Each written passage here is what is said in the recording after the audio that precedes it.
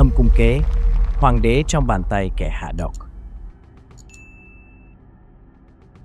Câu chuyện diễn ra vào thời phong kiến, khi hoàng đế Đại Việt vừa đánh bại một cuộc xâm lược lớn và đang trên đường củng cố quyền lực.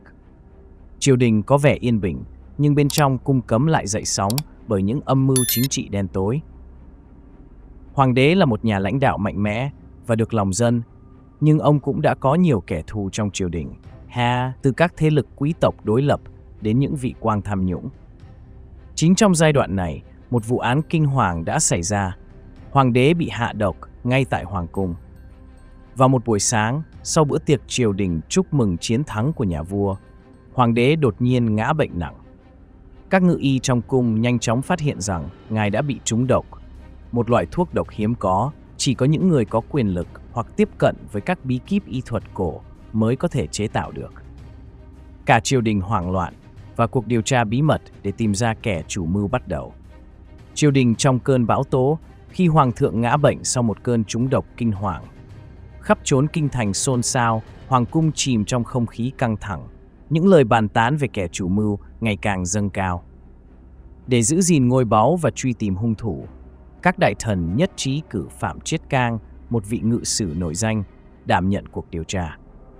Phạm Chiết Cang vốn được biết đến như người trung nghĩa, chính trực, luôn đứng về lẽ phải.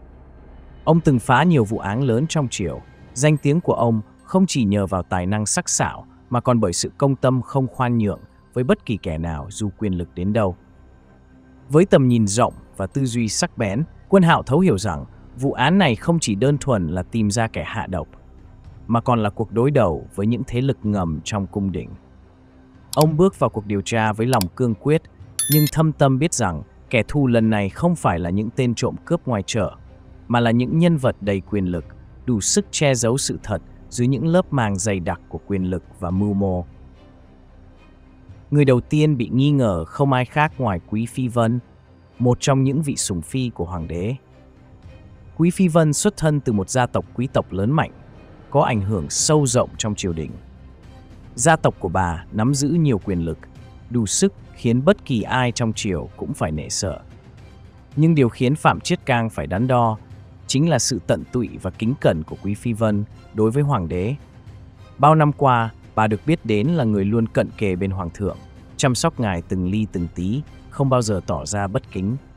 Phạm Chiết Cang với vẻ mặt trầm ngâm, bước chân nhẹ nhàng nhưng uy nghiêm tiến sâu vào chốn hậu cung, nơi mà quyền lực và mưu mô luôn ẩn mình dưới những lớp màn hoa lệ.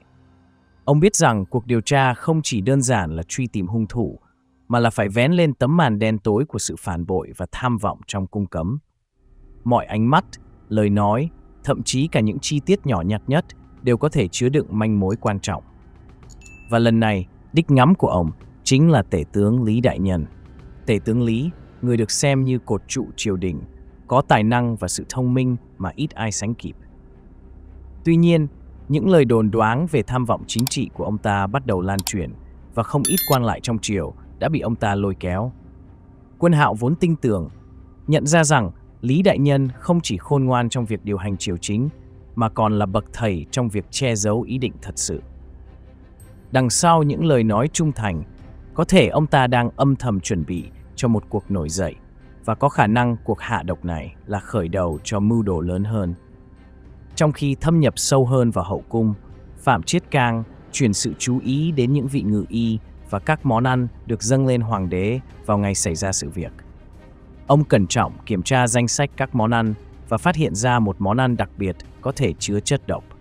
Sự tinh tế trong chế biến món ăn khiến ông nghi ngờ rằng chỉ có người thật sự am hiểu độc dược mới có thể âm thầm trộn lẫn nó vào thức ăn mà không bị phát hiện.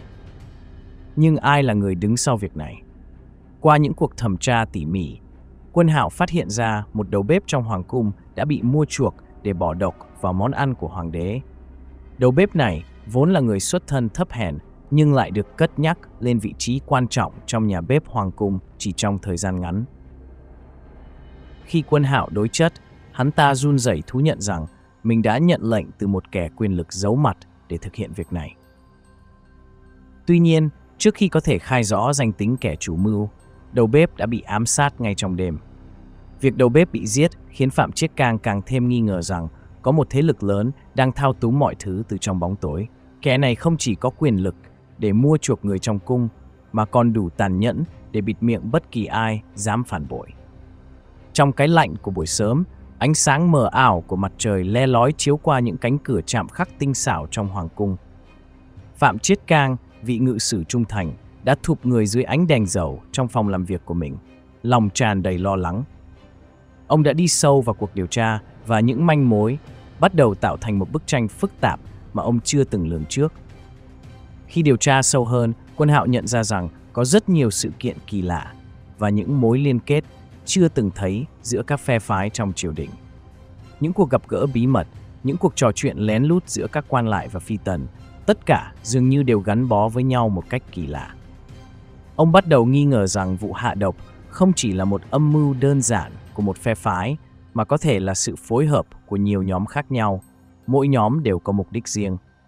Quân Hạo biết rằng ông phải tìm ra điểm kết nối giữa tất cả các manh mối. Ông quyết định tiếp cận Ngô Tử Hà, một vị quan ngự sử lão luyện đã về hưu, từng là bạn thân của hoàng đế và có khả năng cung cấp thông tin quý giá về những phe phái trong triều đình. Sau nhiều ngày tìm kiếm, ông tìm thấy Tử Hà trong một căn nhà nhỏ nằm bên rìa kinh thành, nơi mà ông ta sống đơn độc trong cảnh vắng vẻ, trầm lặng. Tử Hà, với khuôn mặt hằn dấu thời gian, ánh mắt sáng như những vì sao trong đêm, đã chào đón quân hảo. Sau vài câu chuyện xã giao, ông thẳng thắn đi vào vấn đề. Xin lỗi Tử Hà, nhưng ta cần biết rõ về tình hình trong triều. Vụ hạ độc hoàng đế có liên quan đến nhiều người, và ta cần hiểu rõ những mối quan hệ phức tạp này. Ngô Tử Hà trầm ngâm một lát, rồi khẽ thở dài. Trước khi ngã bệnh, hoàng đế đã có ý định thanh trừng một số quan lại vì tham nhũng và phản bội, trong đó có cả những người hiện tại đang điều hành cuộc điều tra. Những kẻ đó lo sợ bị lật tẩy, họ sẽ không để cho bất kỳ ai cản trở kế hoạch của mình. Lời Tử Hà như một viên đá ném xuống mặt hồ yên ả, làm dậy lên những gợn sóng trong lòng quân hạo. Ông chợt nhận ra rằng chính những người mà ông từng nghĩ là đồng minh lại có thể đang răng ra một cái bẫy chờ ông xa chân. Sự thật chớ trêu này khiến lòng ông dâng trào những cảm xúc phức tạp, nhưng quân hạo không thể để những điều đó làm mình hoang mang. Sau nhiều ngày điều tra, quân hạo dần hiểu rằng vụ hạ độc này có thể không phải là một âm mưu trực tiếp hạ sát hoàng đế, mà là một đòn cảnh cáo nhằm khống chế ngài để dễ dàng thao túng. Sự thật đó đã mở ra cho ông những hướng đi mới trong cuộc điều tra. Mọi thứ bắt đầu trở nên rõ ràng hơn khi quân hạo phát hiện ra một mối liên hệ quan trọng. Thái sư Trần Trần là một trong những vị quan lớn trong triều, có quyền lực và tầm ảnh hưởng đáng kể. Khi quân hạo lần theo dấu vết của Thái sư, ông nhận thấy rằng Trần có mối liên hệ mật thiết với các lực lượng ngoại bang. Qua những cuộc gỡ bí mật với những thương nhân nước ngoài, Trần đã cấu kết để nhập chất độc vào cung. Điều này cho thấy một kế hoạch tinh vi hơn nhiều so với những gì mà quân hạo tưởng tượng. Nhưng lý do thực sự để Trần hạ độc hoàng đế lại nằm sâu trong chính gia tộc của ngài.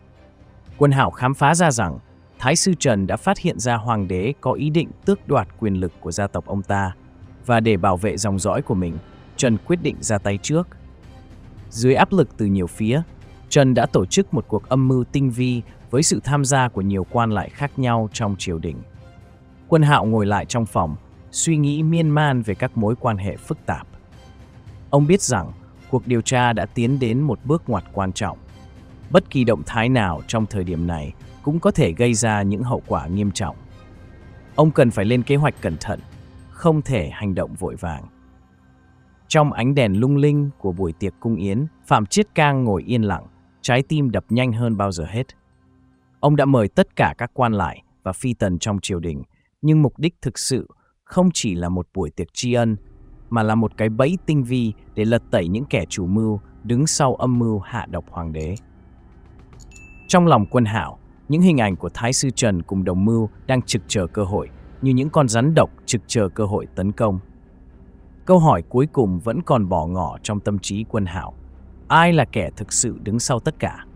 Liệu hoàng đế có an toàn sau khi vụ án này khép lại? Hay ông sẽ trở thành mục tiêu tiếp theo trong cuộc chiến quyền lực này? Quân hạo hiểu rằng nhiệm vụ của mình chưa bao giờ kết thúc và ông sẽ phải tiếp tục theo đuổi sự thật. dù cho nó có thể dẫn dắt ông vào những cạm bẫy nguy hiểm nhất trong triều đình.